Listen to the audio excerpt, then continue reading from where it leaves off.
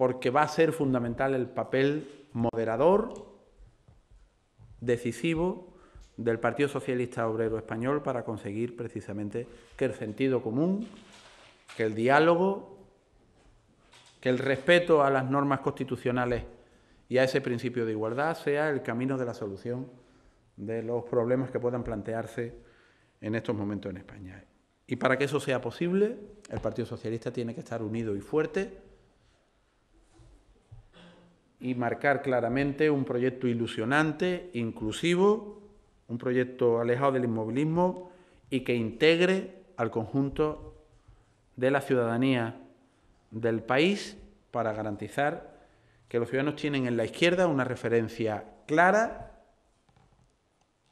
de progreso, de convivencia pacífica dentro de la ley y que esa referencia es el Partido Socialista Obrero Español, como lo ha sido siempre en el conjunto del Estado y como estamos seguros que va a volver a hacerlo desde ese planteamiento de unidad y de trabajo integrado.